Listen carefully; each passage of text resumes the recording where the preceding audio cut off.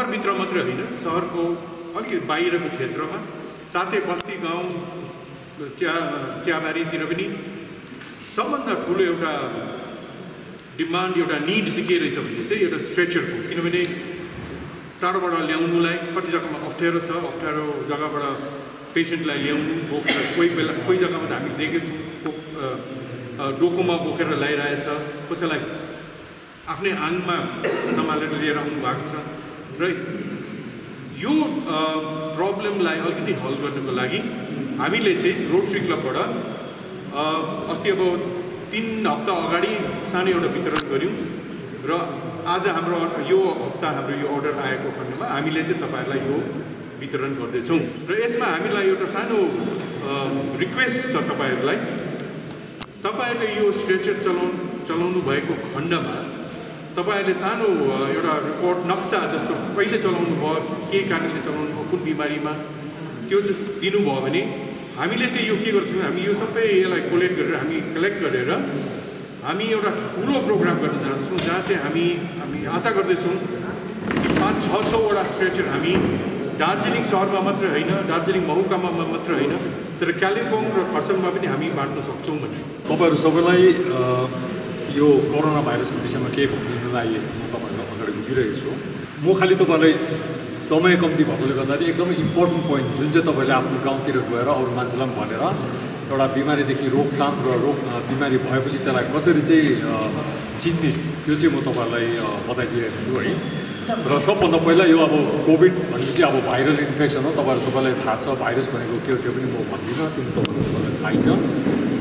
र एकपल्ट इन्फेक्सन भएपछि अब तपाईँले कसरी थाहा पाउने यो मान्छेलाई कोभिड भयो भनेर? साधारण सर्दी खोकी लाग्दा पनि मान्छेलाई त्यही सिम्टम्स हुन्छ। र सबभन्दा इम्पोर्टेन्ट सिम्टम्स चाहिँ तपाईँले हेर्नुपर्ने चाहिँ हो यो कोभिडले भेटेपछि एउटा त ज्वरो आउँछ होइन। कतिलाई ज्वरो नआउनु पनि सक्छ तर प्रायःलाई ज्वरो आउँछ। अन्त कतिलाई खोकी लाग्छ कतिलाई अलिकति घाँटी दुखे जस्तो हुन्छ। कतिलाई जिउ दुख्छ। प्रायः प्रायः चाहिँ त्यही नै हुन्छ। र यदि कोहीलाई अलिक साह्रो हुनु या त त्योभन्दा बेसी बढ्नु छ बिमारी भनेदेखि उहाँहरूलाई सासको प्रब्लम हुन्छ र त्यसको एउटा स्टेज आउँछ। र एउटा स्टेज हुन्छ पहिलो थ्री टु फाइभ डेज भन्छ। थ्री टु फाइभ डेजमा चाहिँ त्यसको इन्क्युबेसन पिरियड र त्यसले आफ्नो जुन चाहिँ खेला देखाउनु छ त्यति बेला देखाउँछ र त्यति बेला चाहिँ तपाईँको तपाईँले सुन्नुपर्ने जुन चाहिँ वार्निङ सिम्टम्स चाहिँ पेसेन्टको लागि चाहिँ यो कोभिड हो कि होइन भन्दा चाहिँ एउटा त ज्वरो त भयो अरू कारणले पनि आउँछ मैले भने ज्वरो होइन। र त्यो ज्वरो आउने जिउ दुख्ने यो घाँटी खसखसाएको जस्तो या घाँटी दुख्ने अलिअलि खोकी हुनुसक्छ नहुनुसक्छ र इम्पोर्टेन्ट चाहिँ तपाईँको यो नाकको तपाईँको गन्ध हराउने मान्छेले गन्ध पाउनु छोड्छ अन्त त्योसँगै मुखमा टेस्ट पनि आउनु छोड्छ। यो अरू भाइरसमा पनि हुन्छ तर अहिलेको सिचुएसनमा हामीले कोभिड चाहिँ यो आयो यो सिम्टम्स भने पहिला सोच्नु पऱ्यो। र थ्री टु फाइभ डेजभित्रमा त्यसको बादमा normally eighty two ninety percent मान्छेहरू सबै प्रायः बिस्तारै बिस्तारै ठिक भएर जान्छ। सात दिन यताउता गरेर चौध दिनमा भाइरस नेगेटिभ पनि हुन्छ। अन्त त्यसको बादमा त्यति बेला यदि यो किसिमको सिम्टम्स छ भने तपाईँले केही नअत्तालिकन तपाईँले घरमा राख्ने प्रशस्तै मात्रामा पानी खुवाउने घरमा जुन चाहिँ खाना खाँदै थियो त्यसलाई खाने आफ्नो हाइजिन मेन्टेन गर्ने र डिस्टेन्स मेन्टेन गर्ने। यदि यदि तपाईँहरूको घरमा एउटा अलग्गै कमरा छ भनेदेखि त्यो कमरामा अलग्गै बिमारीलाई राखेर खानापिना तपाईँले लगिदिने त्यहाँदेखि अन्त त्यो पिसाब पिसाब गर्ने जग्गा चाहिँ राम्रो सफा गर्नु पऱ्यो ह्यान्ड सेनिटाइजर र मास्क एकदमै इम्पोर्टेन्ट है। तिनवटा छ कुरो होइन? ह्यान्ड वासिङ मास्क र डिस्टेन्सिङ भन्छ अब अस्तिसम्म तपाईँलाई छ फिटको डिस्टेन्सिङ भन्थ्यो तर अब आज अलिकति सुनेर तपाईँलाई दुःख पनि लाग्ला। अहिले भन्दै चाहिँ सिक्सटी फिटको डिस्टेन्समा पनि यो हावामा उडिरहेको जसलाई सस्पेन्डेड पार्टिकल भन्छ त्यहाँबाट पनि इन्फेक्सन भएको पाइयो। तर त्यो चाहिँ कति बेला हामीलाई रिस्की हुन्छ भनेदेखि साधारण तपाईँ अब यो बाटोमा गइरहेको छ यहाँ तपाईँ एकजना छ एकजना अलिक पर छ पाँच दस बिस फिटको के अरे दुरीमा छ त्यति डर हुँदैन। तर जहाँनिर हामी भन्छौँ क्राउडिङ अब यो अहिलेको क्राउडिङ पनि भन्यो भने हाम्रो लागि हेल्दी होइन। र बिहा पार्टी भयो मरौतिर त्यस्तोमा चाहिँ प्रायः जसो चाहिँ के अरे इन्फेक्सन चाहिँ त्यस्तोबाट जान्छ। किन त्यहाँनिर क्लोज कन्ट्याक्ट हुन्छ। मान्छेले मास्क लगाइरहेको हुन्छ र पनि तर त्यहाँनिर close contact mask is not a hundred percent protection यसले तपाईँलाई प्रोटेक्ट गर्छ तर हन्ड्रेड पर्सेन्ट प्रोटेक्सन त्यसैले गर्दा पहिला वान लेयर भन्यो अहिले टु लेयर भन्दैछ। अब अहिले टु लेयरमा भने कोही बेला यो भाइरस जुन चाहिँ छ यसको चाहिँ कस्तो छ भने कुनै पनि म्युकस मेम्ब्रेन भन्छ इभन आँखामा पसेर त्यहाँबाट पनि पस्ने चाहिँ सम्भावना छ।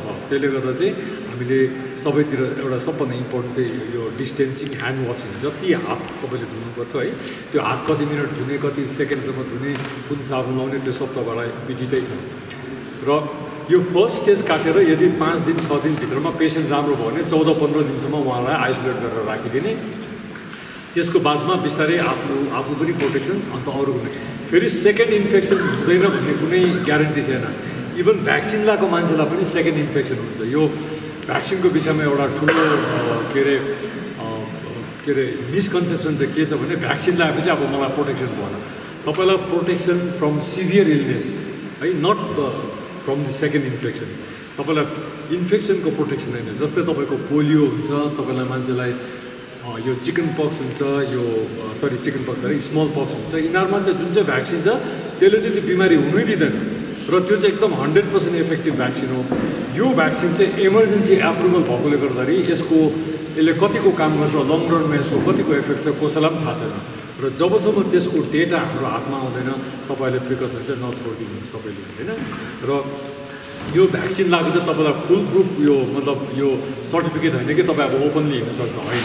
तपाईँलाई खालि बिमारी भइहाल्यो भने बिमारी त हुनसक्छ भ्याक्सिन लगाएर पनि तपाईँको म एउटा स्ट्याटिस्टिक दिउँ। गङ्गाराम हस्पिटलमा है मेरो साथीहरू काम गर्नुहुन्छ त्यहाँनिर पैँतिसजना डक्टरहरूलाई after second dose of vaccination उनीहरूलाई इन्फेक्सन भयो। तर एउटा सुखको कुरो चाहिँ के छ भने खुसीको कुरो चाहिँ उनीहरूमा कसैको डेथ पनि भएन प्रायः जसो चाहिँ माइल्ड इङ्ग्लिसमा भयो। त्यसको मतलब चाहिँ यो बिमारीको सिभियारिटी जुन चाहिँ साह्रोपनदेखि अलिकति घटाएर ल्याउनु सक्छ तर यसले रोकथाम चाहिँ गर्दैन।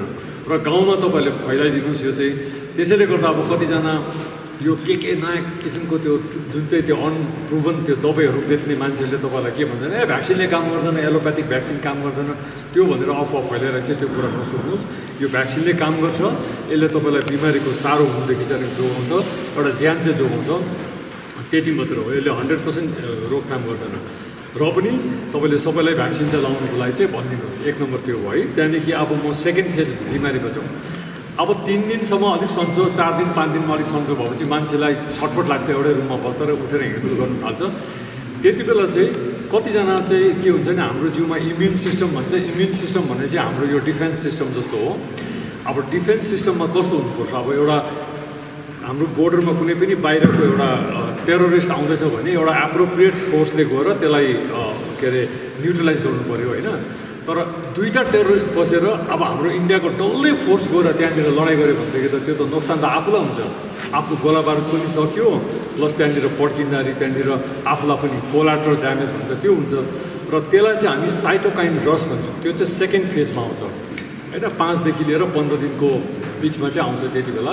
त्यति बेला के हुन्छ भनेदेखि मान्छेलाई जसलाई साह्रो हुन्छ अचानक सास बढ्नु थाल्छ खोकी पुरा सुक्खा खोकी लाग्छ। इन्सिसन कफ भन्छ होइन कन्टिन्युस खोकी लागिरहेको हुन्छ। सास बढ्नु थाल्छ। अन्त तपाईँले त्यति बेला घरमा अक्सिमिटर छ भने अक्सिजनमा हेर्नुभयो भने अक्सिजन लो हुन्छ। नर्मल मान्छेको oxygen ninety six and plus हो होइन? त्यहाँदेखि तपाईँको कतिको घटेर नाइन्टी टू नाइन्टी थ्रीसम्म आउनसक्छ। नाइन्टी टू नाइन्टी थ्रीसम्म छ भने तपाईँले त्यति डराउनु परेन। पेसेन्टलाई घरमै राखेर आफ्नो डक्टरसँग सल्लाह चाहिँ लिनुपर्छ। एकदम जरुरत छ त्यो चाहिँ होइन? तर यदि नाइन्टीभन्दा मुनि कन्सिस्टेन्टली आउँदैछ घरिघरि भनेदेखि तपाईँले त्यति बेला चाहिँ डक्टरकोमा गएर चाहिँ त्यहाँनिर डक्टरलाई पेसेन्ट चाहिँ देखाउनु पऱ्यो या त चाहियो भने पेसेन्टलाई चाहिँ एडमिट गर्नुपर्छ त्यसको अरू क्राइटेरिया पनि छ तर एउटा क्राइटेरिया चाहिँ जुन चाहिँ तपाईँले घरमा गर्नु सक्ने होइन। तपाईँले थर्मोमिटर लाउनु सक्नुहुन्छ त्यो माथि तपाईँले पल्स हेर्नु सक्नुहुन्छ त्यही के अरे यो पल्स अक्सिमिटरमा पल्स पनि हेर्नु सकिन्छ। पल्स पनि अब छिटो छिटो चल्नु थाल्यो। नर्मल मान्छेको पल्स साठीदेखि एक सौ हो त्योभन्दा बेसी घरिघरि हुँदैछ। उहाँलाई अलिअलि ज्वरो आउँदैछ या त ज्वरो जाति भयो तर सास पनि हुँदैछ त्यो हुनसक्छ। अब त्यति बेला कसैको त्यो चेक गरेको बेलामा कति मान्छेको आफैले चेक गर्दाखेरि अस्ति यहाँ हाम्रो एउटा केस कस्तो पनि भयो भने सब जाति भइसकेर आइसकेको मान्छे। जाति भएर घरबाट भने म त एकदम जाति छु ठिकै छु तर कोरोना जस्तो सिम्टम थियो तर हामीले चाहिँ घरमै ट्रिटमेन्ट गऱ्यो टेस्ट चाहिँ गरेन भनेर भन्नुभयो उहाँले होइन? हामीले अक्सिजन हेर्छौँ अक्सिजन एकदमै लो छ। अन्त मैले भने सायद एउटा एक्सरे गर्नुपर्छ भने एक्सरे पनि गरेर हेऱ्यौँ। एक्सरेमा त एकदमै फाइन्डिङ टिपिकल छ। मैले भने तपाईँ सायद हस्पिटल जानुपर्छ होला गएर टेस्ट गराउनुहोस् भनेको थिएँ। उहाँले फर्स्ट डेमा जानु भएन सेकेन्ड डे थर्ड डेमा उहाँ हस्पिटल पुग्नुभयो तर उहाँ बाँच्नु भएन। अन्त त्यसलाई चाहिँ हामी के भन्छ भने हाइपो हाइपोक्सिया तपाईँले सुनिरहनु भएकोलाई यो मिडियामा धेरै दिइरहेको छ होइन? हाइपो सरी ह्याप्पी हाइपोक्सिया यो ह्याप्पी हाइपोक्सिया भने चाहिँ मान्छे राम्रै छ बोलिरहेको छ उहाँलाई फिल केही भएको छैन तर अक्सिजनको मात्रा एकदमै कम्ती छ। अक्सिजन भने चाहिँ हाम्रो त एउटा जीवनदायक चिज हो। त्यसले गर्दा यो कुरोलाई नेग्लेक्ट नगर्नु। केलाई नेग्लेक्ट नगर्नु? हाम्रो अक्सिजन डाउन भयो भने नेग्लेक्ट नगर्ने सास बढ्यो भने नेग्लेक्ट नगर्ने। र अब सास बढेको कसरी थाहा पाउने? अब डक्टरले त थाहा पाउँछ होइन? तपाईँले थाहा पाउनुको लागि सिम्पल एउटा चाहिँ के गर्नुहोस् भनेदेखि एकदेखि लिएर दससम्म नबिसाइकन काउन्ट गर्नु नआउनुहोस् क्या? कस्तो हुन्छ भने एक दुई तिन चार पाँच छ सात आठ नौ दस त्यसै गरेर उहाँले जति लामो समय एकै सासमा फेर्नु सक्छ दसदेखि माथिसम्म त्यति राम्रो होइन? तर आठ नौ दस पुग्दै उहाँ फेरि सास रोकेर स्यास्या भएर फेरि अर्को काउन्टिङमा सुरु भयो भने चाहिँ त्यो सम्झिनु उहाँलाई सासको प्रब्लम हुँदैछ। उहाँको अक्सिजन नाप्ने नअतालिकन डक्टरकोमा लगेर टाइममा ट्रिटमेन्ट गराउनुपर्छ किनभने त्यही टाइम हो त्यति बेला यदि एन्टिभाइरल दबाई लाग्नु छ भने लाग्छ नभए लाग्दैन। अन्त स्टिरोइडको काम पनि त्यति बेला पहिल्यै एकदमै आफैले ओभर कसियस भएर घरमै तपाईँले स्टिरोइड चाहिँ युज नगरिदिनुहोस्।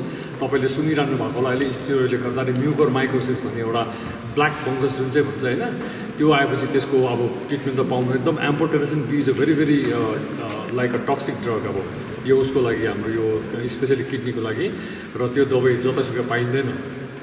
अन्त त्यो भयो भने बडा गाह्रो पर्छ। अहिले सिलगढीमा म सुन्दैछु त्यहाँनिर भयो भनेर होइन? र यो सेकेन्ड फेज आयो। अब सेकेन्ड फेजमा चौध पन्ध्र दिनभित्रमा यो जो जो जति हुनु छ प्रायः जसो त्यो भित्रमा हुन्छ। अब त्यसको बादमा एक्सेप्सनल केसमा कतिलाई डिलेट पनि हुनसक्छ।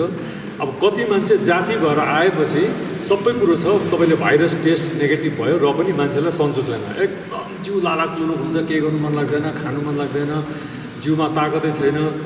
घरको मान्छेले जबरजस्ती गरेर पाउँछ ज्वरो नाप्छ ठिकै छ अक्सिजन नाप्छ त्यो पनि हुनसक्छ। त्यो चाहिँ के भयो भनेदेखि तपाईँको अब यो कोभिडबाट तपाईँ निस्केर त आयो तर इन्टरनल ड्यामेज हुन्छ। कतिलाई सासको तकलिफ त्यसै भइरहेको हुन्छ मसिनो माइक्रो क्लट भन्छ। त्यो चाहिँ हाम्रो खुनको नालीमा मसिनो त्यो क्लट जमिँदाखेरि चाहिँ त्यसले कतिवटा जस्तै लङ्समा गएन भने हामीलाई सासमा प्रब्लम पर्छ ब्रेनमा गयो भनेदेखि त्यसले हामीलाई स्ट्रोक माइनर या मेजर स्ट्रोक पनि हुनसक्छ। किडनीमा गयो भने किडनीले काम गर्नु सक्नु छोड्छ। त्यो बाहेक पनि हार्टले पनि अलिकति त्यो पम्पिङ फङ्सन कम्ती हुन थाल्छ त्यसले गर्दा सासमा प्रब्लम हुन्छ। र त्यसले गर्दा धेरै टेस्ट अत्तालिएर गएर सिटी स्क्यानिङ गराउनु पर्ने छैन। सिम्पल तपाईँले घरमा पहिला आफैले हेरेर उहाँको ज्वरो ज्वरो यो अक्सिजन नापेर हेरेर त्यसमा डाउट भयो भने त्यो डाउटलाई घरमा आफूले मुरमुरेर घरमा राखिरहेर के के त्यो पढेर त्यो नभने तपाईँले आफ्नो डक्टरलाई कन्सल्ट गर्नुहोस् है। यो चाहिँ भयो। त्यसको बादमा अब क्विकली किनभने समयको कमीले गर्दा म डिटेल्समा भन्दिनँ। त्यसको बादमा तपाईँ जाति भइसकेर आउँछ। जाति भइसकेर आएर पनि एउटा पोस्ट कोभिड सिन्ड्रोम भन्छ अहिले। पोस्ट कोभिड सिन्ड्रोम भन्छ। कोभिड जाति भइसकेर हन्ड्रेड पर्सेन्ट पुरा जाति भएर पनि त्यहाँ सिम्टम्सहरू बस्छ। त्यो सिम्टम्समा सबैभन्दा कमन सिम्टम्स चाहिँ फेटिक भन्छ। जसलाई हामी एकदम थाक्यो भन्छ। गल्यो नौनारी गल्यो केही गर्नु सक्दिनँ जिउमा तरान छैन नेपालीमा भन्यो भने होइन? तागत छैन भन्छ। यो चाहिँ झन्डै eighty percent forty five to eighty percent मान्छेले त्यो कम्प्लेन गर्छ। अब त्यसको बाई डेफिनेसन चाहिँ कस्तो छ भने तपाईँलाई कोभिड भएको तिन महिनाको बादमा यो सिम्टम्सहरू जस्तै जिउ थाक्ने सासमा प्रब्लम यो मुटु हल्लिने अब मुटु हल्लिँदा अब कस्तो हुन्छ प्याल्पिटेसन भन्छौँ हाम्रो यो के अरे मेडिकल टर्ममा सिम्पल टर्ममा होइन? अब प्याल्पिटेसन भनेपछि अब मुटु हल्लेको अब कतिले के भन्छ मेरो छातीमा त पुतली हिँडे जस्तो हुँदैछ। ब्रर अब त्यो मुटु हल्ले क्या त्यो चाहिँ हार्ट चाहिँ ढिलो छिटो चल्दा त्यस्तो फिल फिल हुन्छ होइन? फ्लटरिङ टाइपको हुन्छ। अन्त तिनीहरू त्यो सिम्टम्स भयो। अन्त त्यो बाहेक चाहिँ कतिलाई चाहिँ अब यो के अरे खोकी लाग्ने त्यहाँदेखि कतिलाई चाहिँ यो सानो माइनर स्ट्रोकहरू यिनीहरू हुँदै जान्छ। त्यहाँ दुई सौवटा सिम्टम्स डिस्क्राइब भएको छ अहिले। दुई सौवटा सिम्टम्स चाहिँ भयो भने अब पोस्ट कोभिड भन्छ। अब त्यो दुई सौवटा सिम्टम्स त कसैले पनि ब्रेनमा राख्नु सक्दैन। तर त्यसले गर्दा जुन चाहिँ इम्पोर्टेन्ट छ एउटा जिउ थाक्ने खोकी लाग्ने सास बढ्ने मुटु हल्लिने यिनीहरू यो चार पाँचवटा सिम्टम्स चाहिँ तिन महिनाको बादमा कोभिड भइसकेर तपाईँलाई जाति भएर तिन महिनाको बादमा पनि भयो भने चाहिँ बाई डेफिनेसन बाई डिफल्ट यसलाई चाहिँ पोस्ट कोभिड सिन्ड्रोम भनिन्छ। र यसमा चाहिँ कतिवटा पोस्ट कोभिड सिन्ड्रोम चाहिँ रिभर्सिबल हुन्छ त्यसलाई चाहिँ तपाईँले डक्टरकोमा गएर त्यसको टेस्टहरू एप्रोप्रिएट टेस्टहरू गरेर हेर्नुपर्छ। गएर सिटी नै गर्नुपर्छ भने छैन नट नेसेसरी तपाईँलाई हाम्रो अल इन्डिया इन्स्टिट्युट है जहाँबाट म पास गराएँ त्यहाँको हाम्रो अहिले जो उहाँ हुनुहुन्छ के अरे त्यहाँको सबभन्दा ठुलो अधिकारी हुनुहुन्छ उहाँले भन्नुभएको छ होइन तपाईँले सिटी स्क्यानिङ गराउनु त्यति जरुरत छैन। पहिला तपाईँले एउटा एक्सरेमा देख्यो भनेदेखि सिटी इज नट नेसेसरी पहिला पहिला सुरुमा चाहिँ त्यसको केही कसैलाई थाहा छैन के गर्नुपर्छ भन्दा चाहिँ त्यसलाई सिटीले गर्दा हुन्छ कि थाहा पाइन्छ कि भन्ने गऱ्यो। तर अहिले एक्सरे र तपाईँले जुन चाहिँ सिम्टम्स एउटा पेसेन्टले भन्ने लक्षण र यो आरटिपिसिआर टेस्ट गर्नु पऱ्यो होइन? त्यसमा पनि अब आरटिपिसिआर जो अलिक लो डाउट छ जसलाई चाहिँ अब हुनसक्छ भन्ने मात्रै छ भने तपाईँले पहिला सुरुमा त्यो ऱ्याट गर्दा पनि भइहाल्यो होइन। ऱ्यापिड एन्टिजेन टेस्ट गरेर त्यसमा पोजिटिभ आयो भने आरटिपिसिआर गरेर कन्फर्म गर्ने। त्यसमा नेगेटिभ आयो भने नगर्दा पनि हुन्छ। अब टेस्टको त्यति अहिले इम्पोर्टेन्स दिएको छैन खालि सिम्टम्सको लागि दिइरहेको छ। र अब यो भयो तपाईँलाई सिम्टम्सहरू भयो है। यसमा ट्रिटमेन्टमा पनि अब अहिले हिजो मात्रै अस्तिको दिन मात्रै अब तपाईँले हजुर फोर्टी एट आवर्स होला अब अहिले। तपाईँले यो रामडिसिभिर भन्नु सुन्नुभएको थियो होला आइभरमेक्टिन भन्नु सुन्नुभएको थियो होला यो हाइड्रोक्सिक्लोरोक्विन होइन? यिनीहरू यो दबाईहरू जुन चाहिँ को लागि चाहिँ यत्रो मान्छे मारामारी भयो हजारौँ लाखौँ रुपियाँ मान्छेले खर्च गरेर गएर गऱ्यो यो कुनै दबाई पनि काम गर्छ भने त्यसको कुनै प्रुफ छैन। त्यसलाई डिसप्रुभ गरेको होइन। त्यसमा अब कतिवटा एक्सपेरिमेन्टलमा बेसिसमा चाहिँ त्यसलाई पोजिटिभ त्यसको रिजल्ट पाइयो। तर त्यसको रिजल्ट चाहिँ सिग्निफिकेन्ट भएन। जस्तै मैले दसजना मान्छेलाई ज्वरोको मान्छेलाई प्यारासिटामोल दिएर तिनजना मात्रै जाति भयो भने त त्यो त सिग्निफिकेन्ट भएन। तर सातजना जाति भयो भने त त्यसलाई म प्यारासिटामोल युज गर्छु। र त्यस्तै पाराले रामडेसिभिरको पनि त्यही हो। त्यसमा धेरै अफवा पनि फैलिरहेको छ। अहिले झन् यो नेटमा यो टिभीमा दिनरात अफवाहरू के केहरू फैलिरहेको छ त्यो कुरा केही नसुन्नुहोस् होइन? ट्रिटमेन्टको लागि तपाईँको के छ सबभन्दा इम्पोर्टेन्ट एउटा अक्सिजन भयो र एउटा टाइमली ट्रिटमेन्ट मान्छेको रिकग्निसन कति बेला चाहिँ पेसेन्टलाई कुन स्टेजमा छ या त पेसेन्ट जब साह्रो हुँदैछ भने घरमा तपाईँले खाली राख्नु चाहिँ मिलेन। तपाईँले झट्ट लगेर हस्पिटलमा लाने हस्पिटल लगेर टेस्ट गरेर एप्रोप्रिएट टाइममै अक्सिजन पाएर टाइममा यो स्टिरोइड पायो भने चाहिँ उयो। अब स्टिरोइड चाहिँ हाम्रो दुई धारे तलवार जस्तो हो।